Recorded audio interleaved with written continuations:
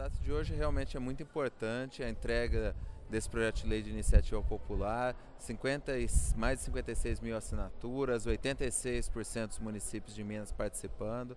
e mostra o anseio da sociedade por mudança, por uma legislação melhor, que minimize riscos, que minimize a chance de desastres e de danos ambientais irreparáveis causados por barragens. É, esse projeto de lei é importante porque, entre outros pontos, ele traz a proibição de instalação de barragens em áreas onde, próximas a núcleos populacionais, onde não haveria tempo para o poder público promover resgate ou ações. Ele proíbe a construção de barragens pela técnica de alteamento a montante, que é a mais barata e a mais arriscada. Ele exige um aprofundamento dos planos de ações emergenciais de maneira a antecipar é, situações de resgate de pessoas, de minimização de impactos ambientais, de captação alternativa de água. Ele dá prioridade absoluta às fiscalizações das barragens, ele traz mais